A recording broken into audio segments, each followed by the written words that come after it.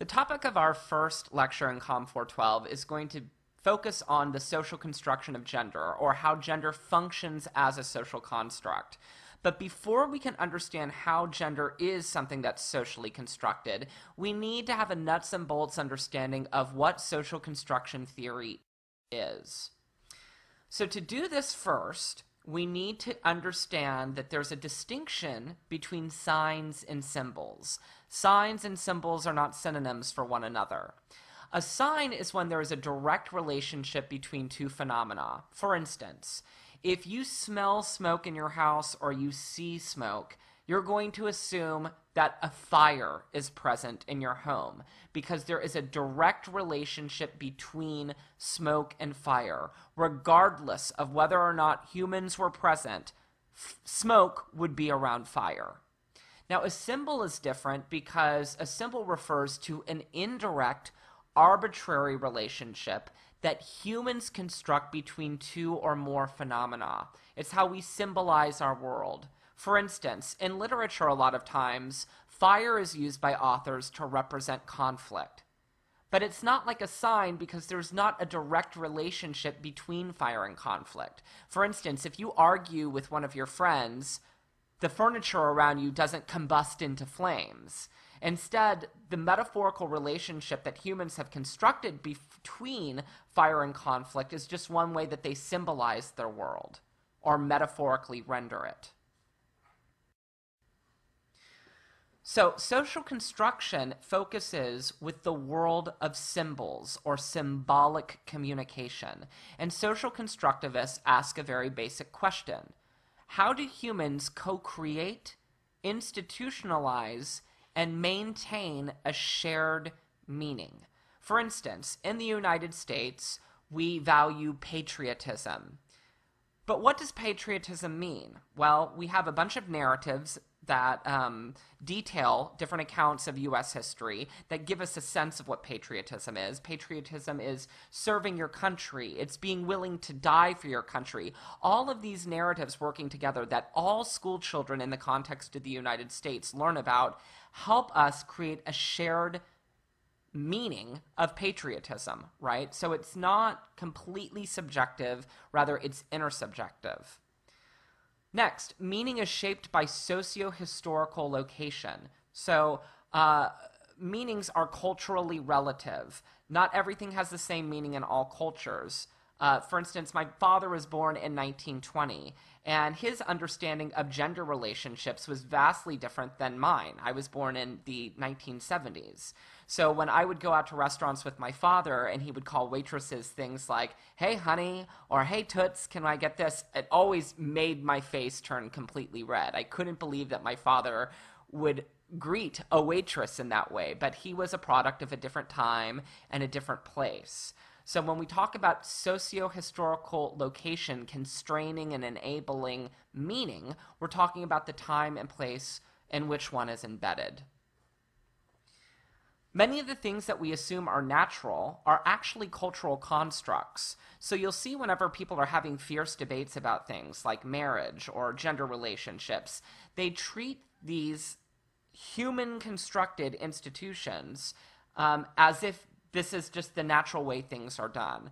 Like uh, a, a number of people will claim, well, this is the right way to do marriage, and it's just always been this way. Well, no, in fact, it hasn't always been this way. Marriage is a cultural construct that changes from time to time and changes from culture to culture, and the same thing with gender. So, social construction relies on processes of socialization, where individuals learn and internalize customs, habits, and values. In other words, when babies are born, they're not born with this, this innate ability to understand what the rules of a particular culture are. Instead, they have to learn the rules of the culture by breaking customs, breaking habits, and then being rewarded or punished for specific behaviors in which they engage. And this is known as their processes of socialization. And there are a number of different institutions in our day to day life that help socialize us. In the world of social construction theory, socialization is split into three primary categories. The first category is primary socialization. The second, according to Berger and Luckmann, is secondary socialization. And then the final category is reality maintenance. So we'll discuss each of these levels of socialization in more detail, beginning with primary socialization. Social constructivist theorists argue that primary socialization occurs in early childhood. And this is when children learn the very basic rules of society. Um, and they tend to learn these rules from their caregivers. They will, um, a caregiver, if they see a child doing something that the child shouldn't do, will say, don't they might work to shame the child. They, you know, they want to teach the child that this is basic inappropriate behavior. So, for instance, there comes an age where a little boy or a little girl can't just run around public in the nude, no matter what the context is. There's always that age where it's like, oh, honey, no, you really need to go put, you know, a, a diaper on or put some clothes on. Um, I mean, I remember when I was a kid, my father was both mother and father to me. He was he was the one who raised me, and I would always run around the house with no pants on up until the time I was like four years old, until my brothers and sisters, who were a, a bit older than me, would say, You can't do that. That's so embarrassing. So I learned the basics of my socialization that I should feel nude. Whenever I'm nude, I should feel a sense of shame. After we learn the very basic rules, and by basic rules, I mean it's not complex at all. You know, we're just getting a very basic understanding of how the world works. Then we move into processes of secondary socialization. And se- secondary socialization occurs from childhood through adolescence. And this is when somebody learns more role specific knowledge. They get more nuanced understandings of the roles that they have to play in a culture. And a number of different institutions help mold these beliefs. It's not just the caregiver who's telling the child, you know, this is the right or wrong way to act. Um, some of these institutions that help socialize us during secondary socialization include schools, church, nation, you know, national discourses. And each institution exerts its influence by way of official and unofficial discourses. So um, sometimes the rules will be explicit, like um, boys and girls have to go into different bathrooms in elementary school and this is you know a spoken rule. And other times it will be more uh, subtle. So we might encourage boys to be more active in pe class or we might encourage girls to be more artistic in the classes that they take and there's no written rule when it comes to this but like the educational institution does definitely suggest that children should conform to certain gendered behaviors. So each institution exerts its influence, and sometimes there will be competing discourses that try to push and pull the children, the child into different directions. Um, so, an, an, example of another type of institution that teaches children really complex roles would be the Boy Scouts of America. And in the Boy Scouts, boys have to wear a particular uniform and they earn specific badges for specific behaviors in which they might engage. And all of these behaviors are meant to symbolize the correct way to perform masculinity. So a kid will earn a badge for tying knots or whittling wood or camping. And all of these are very masculine activities that are meant to socialize the young boy into being a man. So after a kid is done with secondary socialization, he or she will spend the rest of his or her life maintaining their sense of identity and the reality that they've constructed for themselves. They will seek out things that affirm their values and beliefs. And this happens every single day of their lives. Mundane, everyday, redundant acts of communication both constantly reaffirm and sometimes challenge our intersubjective understandings of reality. We maintain our socially constructed worlds by identifying with symbols that best fit into our subjective and socially constructed reality. In fact, communication research shows that people, you know, like with cable news now, cable cable news is very ide- ideologically divided. You have more liberal uh, cable news like MSNBC, and the more socially pro- or socially conservative news like Fox News. And communication research suggests that people, when they're deciding what news network they want to watch, they don't tend to flock to stations or channels where the journalists are going to challenge their values and beliefs. Instead, they seek out journalists who will tell them uh, they agree with the things that they already believe in. So that's one of the ways that we maintain our reality. We seek out things that affirm our values and our beliefs and our norms. Identity is definitely a social construct. Some of the most basic aspects of our identity, things like race, gender, sexuality, are social constructs that a number of people confuse for biological realities. And it's not to say that there isn't. Um, a sense of biology helping to determine these traits. Like, certainly, phenotype helps construct our understanding of race, gender, and sexuality, but it's a lot more complicated than biology determining these things. Things like race, gender, and sexuality are also very much social constructs. And to illustrate this idea, I'm going to talk about one of my office mates um, when I was getting my PhD at ASU. Her name's Elvanette. And Elvanette is a black woman from the Caribbean. And um, she came to the United States to get her PhD, and a number of people would confuse Elvanette for an African American, which she's not. She's from the Caribbean. She's not even a U.S. citizen. And uh, I think it's easy for people to look at something like phenotype and then project a social construct, a human constructed label like African American or black or white or, you know, whatever the case may be, onto an individual, regardless of whether or not that's an appropriate label to place with that individual. And there is a pretty popular quote that one is not born woman or black or heterosexual. One becomes these things by way of socialization. We are socialized into our understanding of what constitutes man, what constitutes woman, what constitutes black or white or gay or heterosexual. All of these things are uh, social constructs. They're the differences that make a difference. So, why study gender issues under a social constructivist frame? First, gender issues are both personal and political. And what I mean by that is a lot of issues related to gender are framed as personal, uh, personal business, like.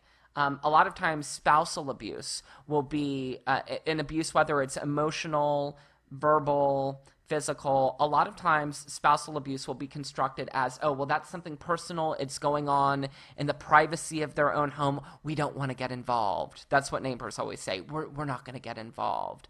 But when you look at the statistics regarding spousal abuse, and I'm just going with this as an example, I think the statistic is upward of anywhere between like 25% upward to 50% of women are abused at some time by their spouse. So when you look at how this is happening at an epidemic rate, something that is constructed as personal requires political intervention. It's something that people should be talking about in the political sphere. Gender issues are almost also systemic, and what I mean by that is that they're system wide, regardless of individual belief.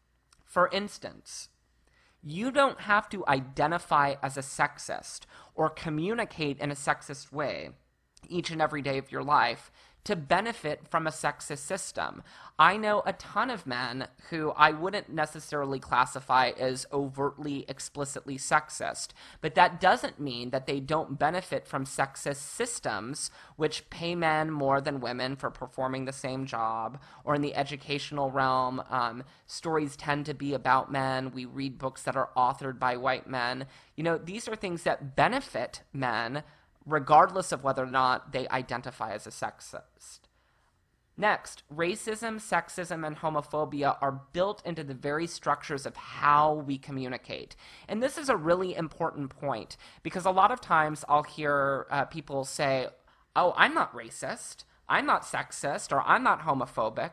But what these people fail to realize is that racism, sexism, and homophobia are built into how we talk to one another. For instance, male generic language. Male generic language, which we'll discuss at greater length at the uh, midpoint in the semester, is when we use man, men, and other male pronouns to refer to both men and women. And by doing this, we first highlight men and make it seem like they exclusively play the roles that we're referring to. And then we also wall out the women's experiences who also may be participating in this role. So some specific examples of male generic language might be Congress per, or congressman instead of congressperson, or uh, policeman or fireman because when you use man as a reference to both men and women, you make it seem like it would be odd for a woman to play that role. So this just gives you an idea of how sexism is built into the very structures of how we communicate. It's built into our language, so we all, in a way, are racist, sexist, and homophobic. Inequality is also a social construct, and this is a theme that we'll be discussing for the duration of the semester. Western culture socially constructs sex, gender, sexuality, and class via communication discourse. We then use communication to designate superiority and inferiority. Um, and sometimes it will be very I- I- explicit in the ways that we communicate this superiority or inferiority. Um, other times it's more subtle and taken for granted and kind of built into the vernacular or how we talk day to day. So, for instance, when people say that's so gay, when they mean to say that's weak or I don't like that or I think you're stupid, the association there that they're making is that gay people are weak or not to be valued or stupid. There's a connection, a metaphorical connection, a relationship that's being built there. Another example of this would be the trope of darkness in Western literature. And what I mean by that is if you look at the history of uh, literature in the United States and also the rhetorical tradition dating all the way back to ancient Greece over 2,000 years ago, whenever people mention blackness and whiteness in literature, many times blackness is conflated with things that you can't trust, things that are out to get you, things that are suspicious, and evilness. And whiteness is constructed as pure, truthful, honest, good, innocent. Not surprisingly, we treat white people by and large the same way that we construct this metaphor of whiteness, and also we treat people who are not white as suspicious not to be trusted. You know, all of these things that fall in line with the trope of darkness. So there are subtle ways that we go about communicating superiority and inferiority and socially constructing inequality in our day to day communication and literature. So, what happens is that people internalize inferiority and superiority. So, the trope of darkness shapes understandings of people who aren't white.